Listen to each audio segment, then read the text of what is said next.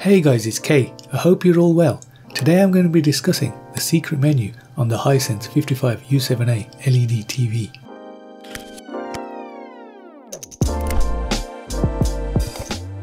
Before we start, a quick disclaimer.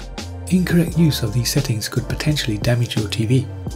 Okay, so what we're really talking about here is the engineer's menu. That will give you access to TV settings that are not on the normal menu. So to navigate around this menu, you use the same pad on your remote control. Okay, so the first thing on the menu is the white balance. Most of these you can probably change on your standard TV menu. If you press the cog button on your remote control, you should be able to come out the sub menu. Next you got your channel signal, so you can change your particular signal type for your country.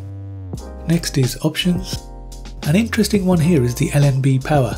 So if you're using the satellite options on the TV and your dish needs to be powered, you can switch on this option. Next is region. If you wanted to use this TV in a different part of the world, you would select this and then below select the country. So you might be able to get services in your country that you wouldn't normally get by selecting these. Next you've got your logo. Now if you select and change this, it will actually change the startup logo when the TV is switched on. And I have actually tried this and it does work but I like to leave mine as standard on the Hisense logo. Language of course, you can set your language. Okay, so the next interesting one is test pattern. So this is when you want to test your screen for any dead pixels. So it will turn orange, green, blue, white, and then black. And then we get this pattern which I'm not too sure about. So if you do know what it is, leave a comment below. The next menu item is inlay pattern, which is similar to test pattern but it does a fading effect and is probably more accurate in spotting dead pixels. Okay, next we have the software version.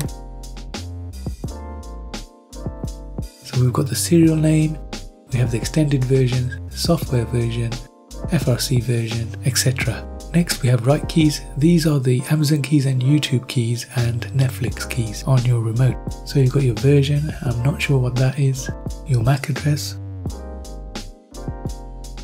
This looks like the model number, your HDCP 2.2 key, your HDCP 1.4 key. And finally at the end you got your service number. And if we go up and across the menu to design, we've got video curve, where we can adjust brightness, contrast, saturation and hue settings. Next we've got backlight where we can adjust the backlight settings. We've got picture mode which is similar to what you can do on your TV settings. Again we have the test pattern which is the same as before. Bypass, overscan ratio, audio volume and audio mode. Now all these options I probably would not be touching because you do risk doing some damage to the TV set if you don't know what you're doing. Now the one option I have touched is the fast boot which I've turned on. This as the name suggests boots your TV up faster. Again I'm not sure what built-in video is. Okay so at this point you might be wondering how do I get into this secret systems engineer menu?